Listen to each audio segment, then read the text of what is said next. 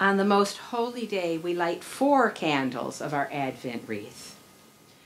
We are reminded of the expectation, preparation, proclamation, and revelation of His coming.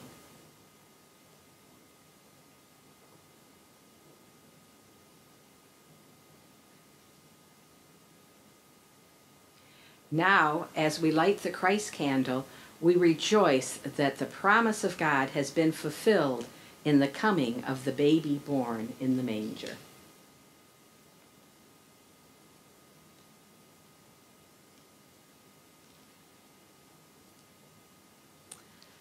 Welcome to our Christmas Eve service as we celebrate Christ is come.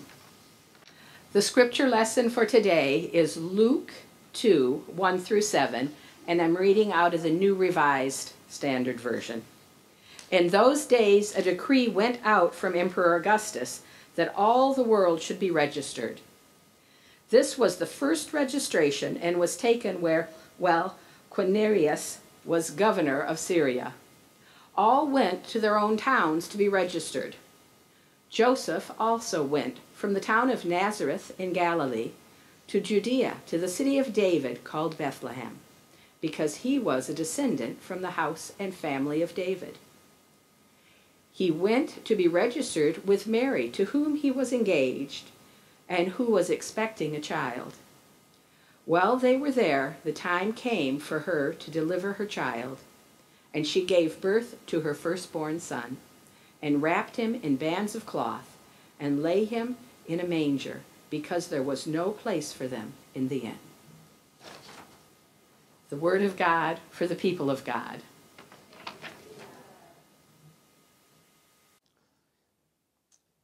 Praise the Lord, everyone. I'm Pastor Maurice Horne, and I serve as the pastor here at St. Paul United Methodist Church. I welcome you to our Christmas Eve worship service, and I welcome those who are worshiping with us online, and I thank you for joining us. Looking at the scriptures that was read this evening, for a subject I would like to use make room for Jesus. A Roman census was periodically taken to assess the taxation and to discover those who was eligible for military services. Because the Jews were exempt from military services, the census was predominantly taken for the purpose of taxation. And we see the writer of Luke portraying Christ as the Messiah, the promised descendant of David who would save God's people. In the book of Micah, it was prophesied that Jesus was born, would be born in Bethlehem of Judea. Jesus was born in David's hometown of Bethlehem. And as the prophet Micah predicted, out of Bethlehem shall come forth um, one who is ruler in Israel, whose going forth have been from eternity. Luke tells us that Mary and Joseph lived in Nazareth, which was about 80 miles from Bethlehem. Luke gives the circumstances that caused Mary and Joseph to return to Bethlehem to be able to fulfill the prophecy. Luke tells us that Jesus is the Messiah from the family line of David. As it neared the time for Mary to have the baby, then it was destined for her to make it to Bethlehem so the baby can be born there, fulfilling prophecy. It's possible that God caused a census to be taken, which would give them a reason they had to go back for the purpose of the census. Now, the journey from Nazareth to Bethlehem was about 80 miles. And back in the first century, they didn't have automobiles like we have. They couldn't jump in a car and just go on a smooth ride. They did they traveling by foot or on an uh, animal. And to travel 80 miles by an animal, you can only imagine the toll that it took on Mary. Nine months pregnant, making that journey, whether it's on an animal or whether it's on foot. You can imagine her back is hurting. Pain is taking place.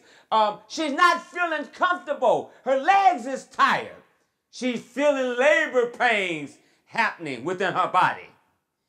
But when they got there, because the census had called everybody to come back, the place was so crowded, there was no room for them. There was no stall for them to be able to have privacy while she bring birth to the Savior of the world. Now, accommodations for travelers were very primitive back then. An inn was like a series of stalls um, with an opening that led to a big opening in the center of the courtyard. In our language today, that would be like cubicles. We have cubicles separating where people can be separated from everyone. And if this sanctuary was be compared to that, then there would be cubicles all alongside the wall, all the way around the sanctuary. And then in the middle, there would be a place for the horses to be able to be put at, for the uh, water trough, and for all the food for the horses to be in the middle. Well, when Jesus and Mary, when Mary and Joseph got there, all the stalls was full. There was no place for them to go into the stall so they can have privacy. And because of that, Jesus was born in a common area in the center of the, of, of the stall where all the horses and everything was at. As a matter of fact, Jesus was born in a horse's trough, water trough. He was, that was his bed because there was no place else for him. And I can imagine if the people knew that this was the Son of God being brought forth into this world, they would all been running saying, You can have my stall. You can have my stall. You can have my stall. But because they did, was not aware that this was the Savior of the being born into this world, Jesus didn't get none of their stalls. Mary birthed Jesus in the center courtyard because there was no room for him in the inn. You know, it's amazing. Even today, People are busy.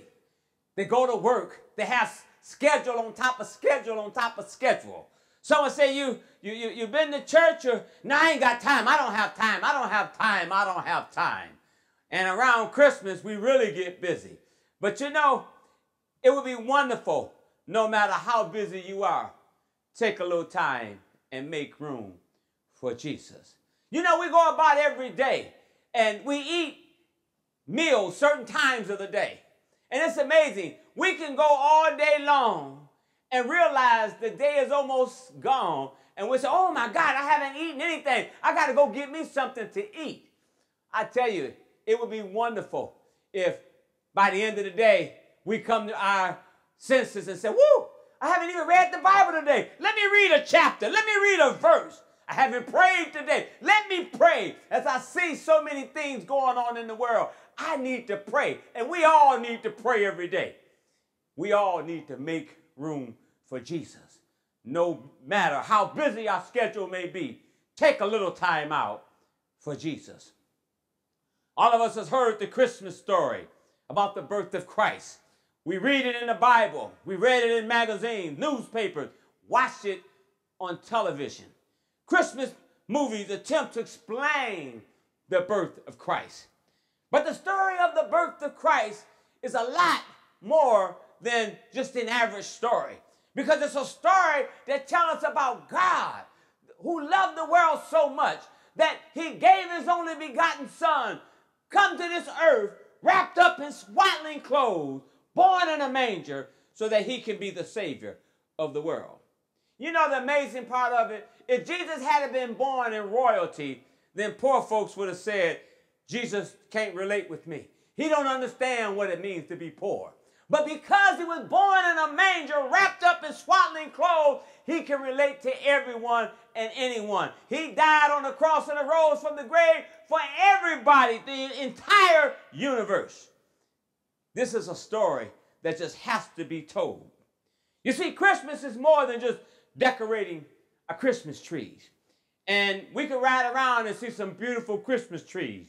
But Christmas is more than just decorating Christmas trees. It's more than just buying gifts for the family, more than singing carols.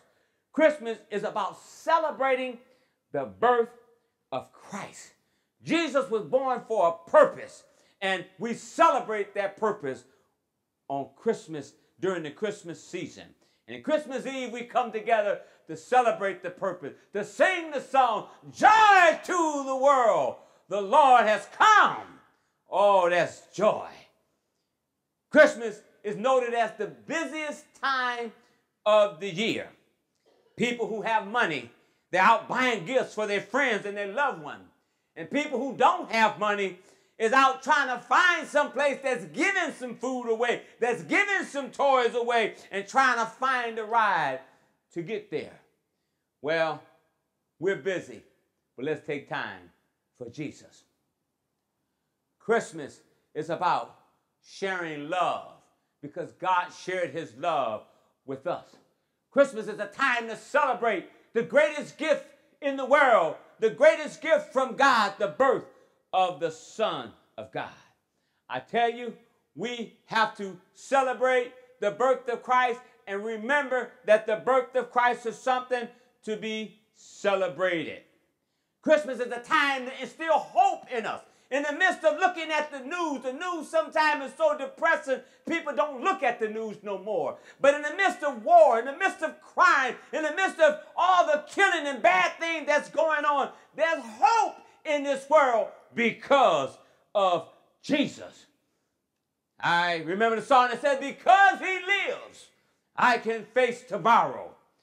Because he lives, all fear is gone. Because he lives, because I know who holds the future. And life is worth living just because he lives.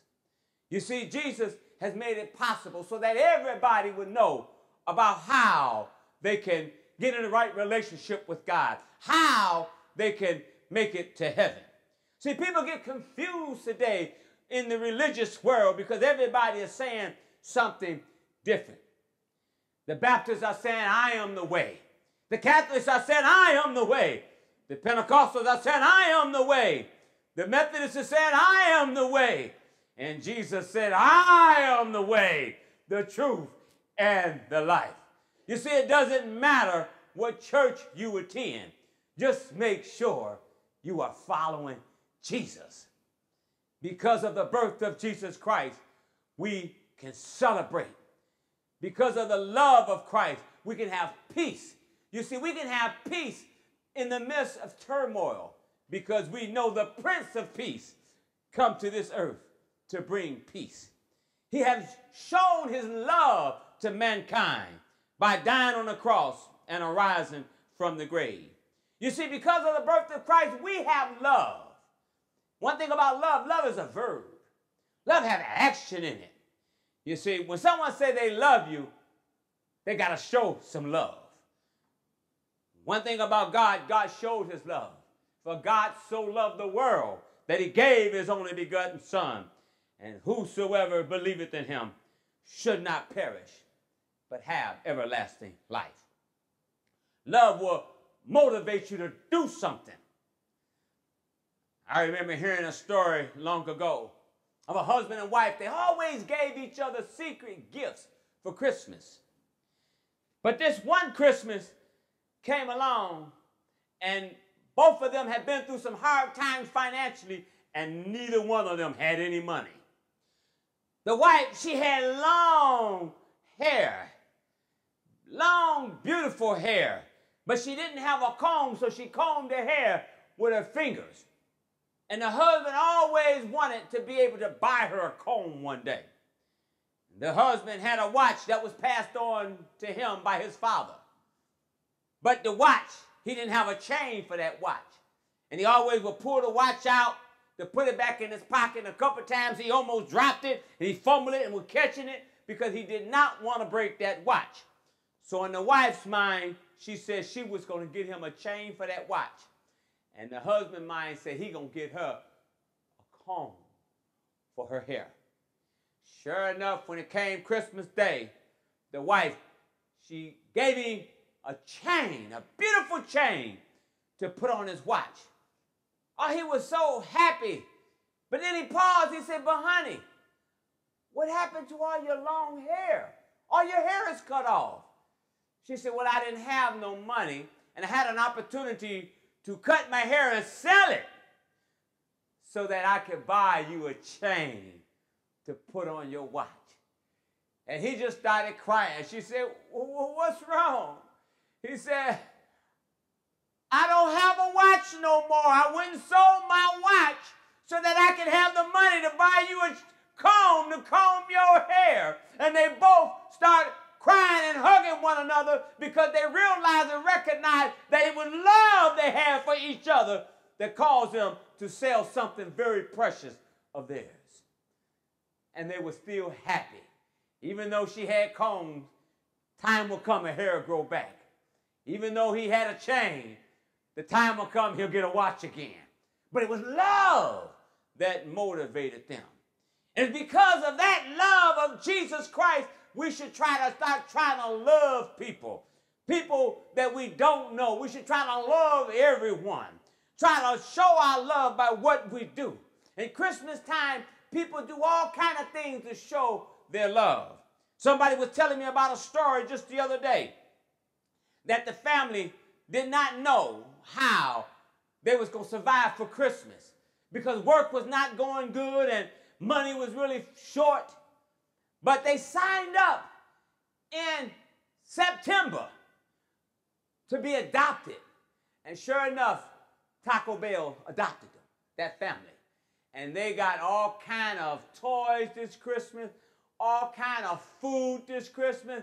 The kids were just so happy this Christmas because somebody loved them. Amen. We have to start displaying that love because God showed his love to us. Let us start showing love to one another. Someone might ask the question, say, was, well, was Jesus born on December 25th? Guarantee you he was not. But thank God he was born. We don't know the exact date, but we don't want to pinpoint the exact date. We just want to pinpoint the fact that he was born. And because he was born, he came to this world so that he can be the Savior of this world. And thank God for that. And we don't have to wait till December 25th to celebrate his birth. We can celebrate it all year long. We're talking about making room for Jesus. When we hear the Christmas story, then we should hear the Christmas story all the way from the manger to the cross, from angelic visions to resurrection life, and beyond into the life of the Spirit of Christ at the work in the world today. If we are to worship the infant Jesus, we must follow him from Bethlehem to Golgotha, where he died on the cross and arose from the grave, taking up our own unique ways of participating in his saving work.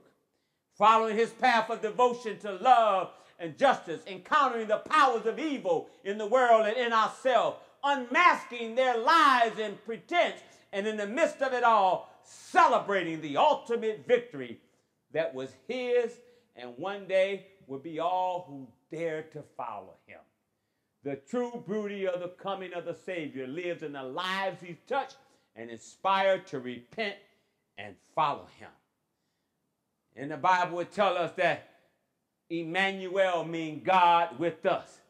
That means God is with us right now, today.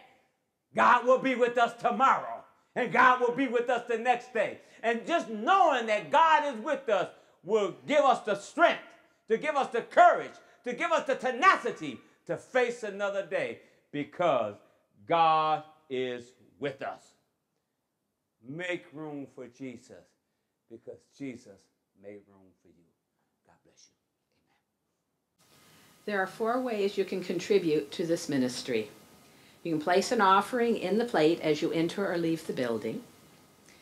You can give by text. You can click on Donate Now button at the website or mail your check directly to the church. Now may the grace of our Lord and Savior, Jesus Christ, and the love of God, and the sweet communion of the Holy Spirit rest, rule, and abide with us henceforth and forevermore. And all God's people say, Amen, amen. and amen. Merry Christmas. You are dismissed. Go in peace.